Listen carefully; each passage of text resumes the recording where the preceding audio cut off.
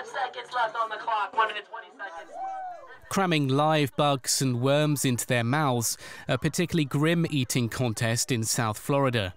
The eventual winner was Edward Archbold, seen here in the white bandana, pounding his chest to mark his victory.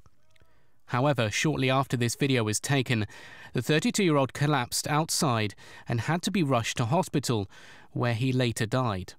Store owner Ben Siegel said they're all shocked. Eddie was a very nice guy. We just met him that night, but everyone that works here was very fond of him. He was outgoing, he was the life of the party, and he really made our, made our night more fun. It's not known why he died because none of the other contestants had become ill afterwards.